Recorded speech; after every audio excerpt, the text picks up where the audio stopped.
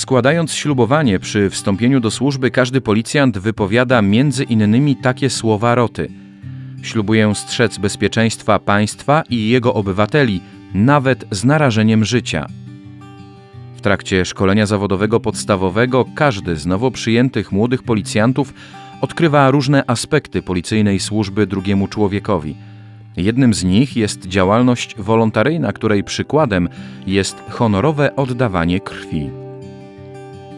Dzięki spotkaniom z członkami klubu honorowych dawców krwi przy Szkole Policji w Słupsku, który działa blisko 30 lat, wielu młodych policjantów podejmuje decyzję, aby również tym najcenniejszym darem, własną krwią, służyć innym, często wprost ratując życie.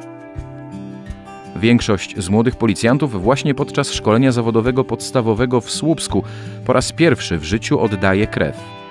Towarzyszą im różne emocje, jak każdemu człowiekowi, ale dzięki zaangażowaniu personelu medycznego i obecności aktywnych członków policyjnego klubu HDK-PCK, którzy przedstawiają ideę honorowego krwiodawstwa, wątpliwości zostają szybko rozwiane.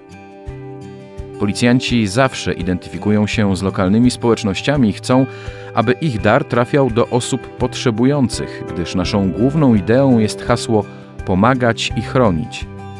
Wielu policyjnych donatorów podkreśla, że chcą w ten namacalny sposób przysłużyć się i wnieść swój własny wkład w postaci symbolicznej kropli krwi na rzecz osób potrzebujących.